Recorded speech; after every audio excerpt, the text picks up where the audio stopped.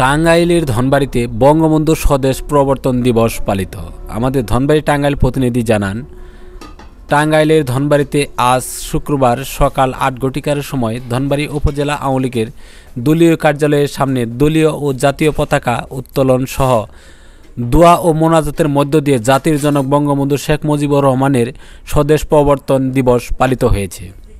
জাতীয় পতাকা উত্তোলন করেন ধনবাড়ি উপজেলা আওয়ামী লীগের সাধারণ সম্পাদক আলহাস মীর ফারুক আহমদ ফরিদ, সিনিয়র সহসভাপতি মোহাম্মদ আব্দুল হালিম হাবিজুর রহমান শোভা আজাদ বকল, ধনবাড়ি পৌর মেয়র খন্দকার মঞ্জুর ইসলাম তপন, ধর্ম বিষয়ক সম্পাদক মোহাম্মদ শহীদুল্লাহ।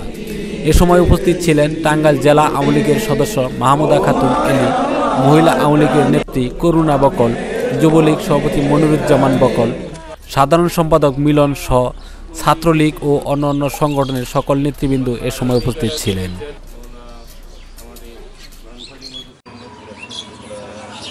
Mm.